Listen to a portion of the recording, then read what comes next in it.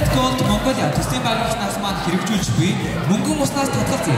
Гар зургийн уралдааны шагнал гардуулах үйл ажиллагаа маань ёслол төгөлдөр эхлэхэд бэлэн босныг мэдгэхэд таатай байна. Зүүрээ хүүхдийн орон маань сургууль цэцэрлэгүүд болон олон улсын байгууллагатай хамтран олон тэмцээн зохион байгуулалтын нэг нь бол энэ уралдаан тэмцээн байгаа.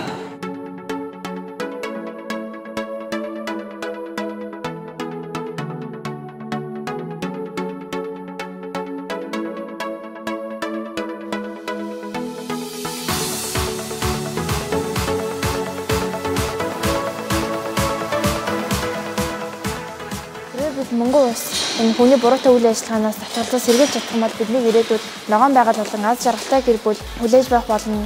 А гэр бүлийг мороор төрсөн одоо ингээ мөнгө уснаас ингээ бие бинийгаа ингээ хамгаалж байгаа гэсэн утгатай зураг зурсан.